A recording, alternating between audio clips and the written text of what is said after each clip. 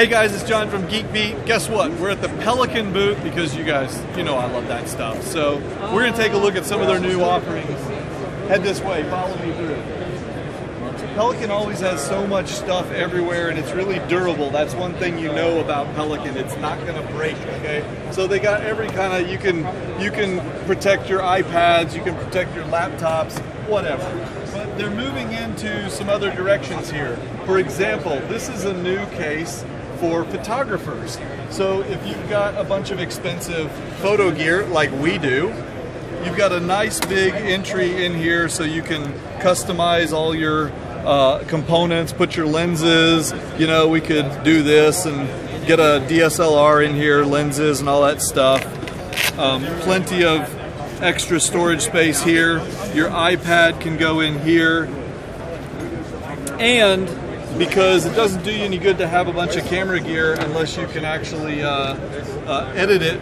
You've got a laptop slot in here that's full hard case on both sides. This will fit up to a 17 inch MacBook Pro or like a 15 inch uh, Windows kind of uh, laptop.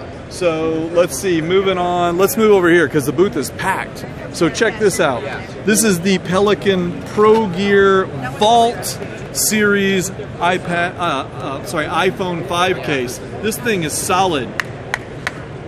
Um, it is designed actually just to protect the heck out of your iPhone. So if you're paranoid about dropping it, I guarantee this is not going to break. These go for about 79 bucks and they are available now. It's also water resistant.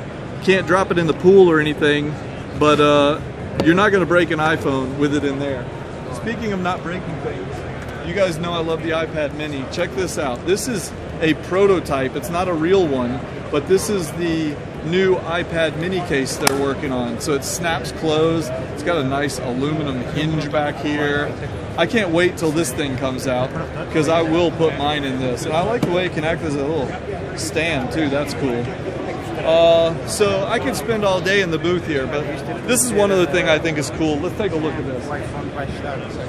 This is an emergency lighting kind of system, all built into one Pelican case. As you can see, there are lights here, and uh, this thing goes for around two grand. But what's really cool, check out this display. You can adjust the amount of time you need the light to last.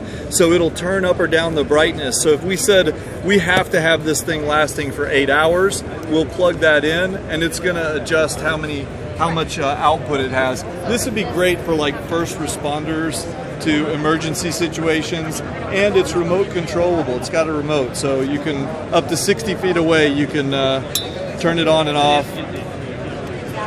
There we go. So pretty cool stuff. Anyway, we could spend all day here, but that's a quick update from the Pelican booth. So you guys stay tuned for more coverage here from NAB. Go on over to youtube.com forward slash geekbeattv. Give us a thumbs up. See you later.